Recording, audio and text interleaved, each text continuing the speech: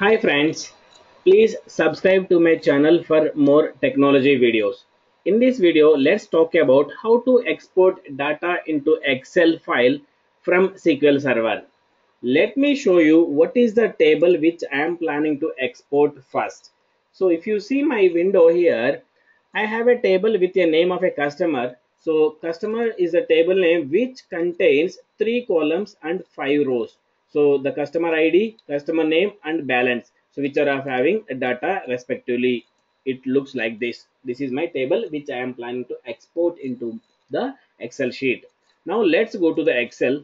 So where I am planning to export. So this is my file. So which I am planning to export. So this is my empty file which I am planning to export. Let me close this and let's come to the SQL Server.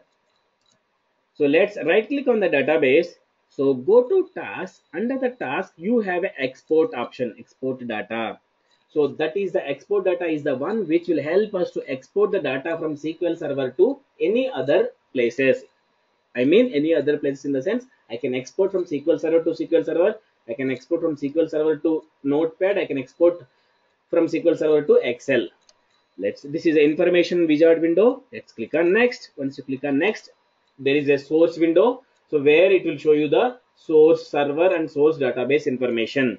My source server is uh, dot slash SQL 2012. Database name is sample.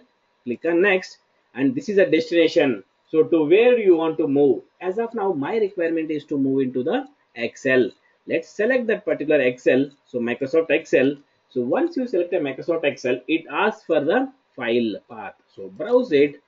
So yeah, this is the file now. Export data.xlx and click on next. So once you click on next, it will ask you, do you want to uh, directly move data from table to Excel or do you want to write a customized query? You can write a customized query as well in this window, but I want to go with a table, direct table. Let's click on next.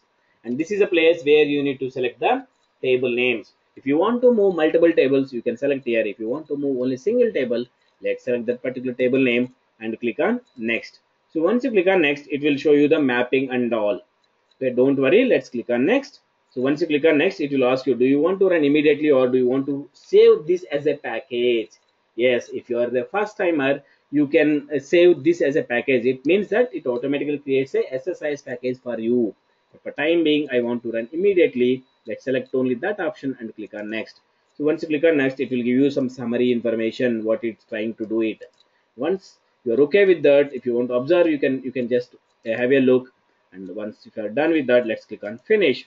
So once you click on finish it runs the summary and it runs that okay? If you have a large number of uh, rows it will take a while. If you have a only less number of rows it does not take more than a minute. So here if you see five rows are transferred. Once you are done let's click on close. So this is how we move the data from SQL Server to the Excel. Let's go to the file now. So if you open the file so here there is a sheet name used to come with a table name. Let's go to the customer. So this is the place where you will see the data which is moved from SQL Server to the Excel. So that's it. In this video, we learned about how to move data from SQL Server to Excel. So thank you for watching.